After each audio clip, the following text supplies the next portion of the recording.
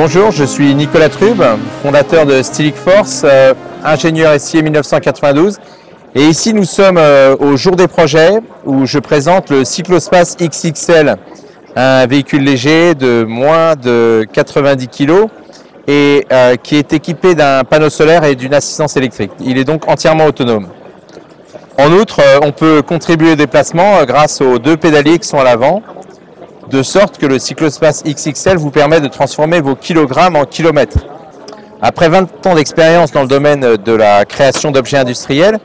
euh, j'ai écrit euh, mon livre sur la créativité qui s'appelle Mon rêve n'est pas d'aller ailleurs. Euh, c'est une série de, de récits concernant ma trajectoire d'entrepreneur où j'ai essayé d'identifier dans différentes situations de la vie euh, quelles étaient les attitudes créatives et les attitudes anti-créatives.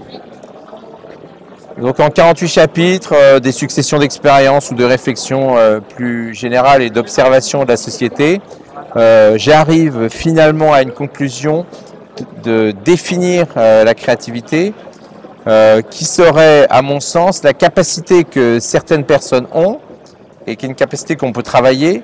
à transformer les nécessités en vertus. C'est-à-dire qu'au cours d'un projet, j'observe euh, un élément euh, qui peut être considéré comme un accident et à quel moment je peux le transformer en une opportunité pour le projet. cette attitude donc créative s'oppose à l'attitude anti-créative, qui est souvent malheureusement celle de l'ingénieur qui a trop lu les œuvres de Taylor et qui va considérer que le travail est une grandeur scalaire, qu'on peut euh, qu'une heure de travail plus une heure de travail, ça fait deux heures de travail, euh, qui va se sur-spécialiser, euh, qui va considérer que tout accident dans le projet est à combattre et va dépenser des ressources du projet pour combattre cet accident plutôt que de le transformer en opportunité, et tout un tas de dérives qui vont faire que l'ingénieur va, va finalement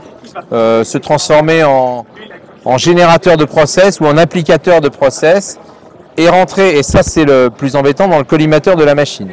C'est-à-dire que si on, pratique des règles sans art, euh, eh bien on, est facilement euh, sujet à une copie de son travail par la machine. Hein. après tout, appliquer les process, euh, n'est-ce pas ce que la machine sait faire de mieux? Elle le fait très bien, très économiquement, 24 heures sur 24, 365 jours sur 365 et donc euh, va arriver à, un niveau de performance euh, inégalable. Donc j'invite les ingénieurs à ne pas devenir anti-créatifs, à considérer que le travail est un, rapport précis à l'existence, à admettre les contraintes, à ne pas les négliger, à réaliser à la fois qu'il y a des contraintes froides, c'est-à-dire euh, en gros les lois de la physique, hein, la pesanteur est une contrainte froide, ou les contraintes chaudes, l'accident qu'on rencontre exactement en temps réel au cours du projet, à faire la synthèse de tout ça et surtout à rester proche euh, des réalités. Ce qui n'est pas évident aujourd'hui parce que les outils numériques qui sont à notre euh, disposition vont tout faire pour nous éloigner de cette réalité. Euh, faire le travail d'analyse à notre place, comme si ce travail d'analyse n'était pas un, était, pouvait se faire indépendamment de notre capacité à penser. C'est-à-dire chaque fois qu'on sous-traite à la machine une analyse, on gagne un peu de temps sur le coup, mais on, perd sur la métabolisation du sujet. Je, crois que pour euh, euh, travailler euh, de façon vraiment créative, il faut métaboliser le sujet.